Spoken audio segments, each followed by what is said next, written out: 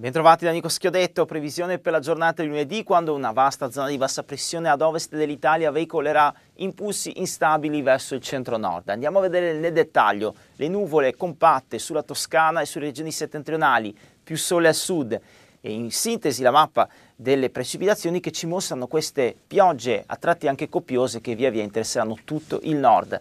Nel dettaglio la mappa dell'Italia ci mostra questo rischio di nubifragi anche al nord-ovest, specie sullo Spezzino e poi Toscana settentrionale. Piogge in arrivo, specie nella seconda parte del giorno, anche sulle Venezie, copiose sulla fascia prealpina. Restanti zone del centro-sud tra sole e nubi sparse, temperature estive al sud per i venti tesi di scirocco. Tutti i dettagli precisi scaricando l'app di Trevi Meteo, articoli sul nostro sito web.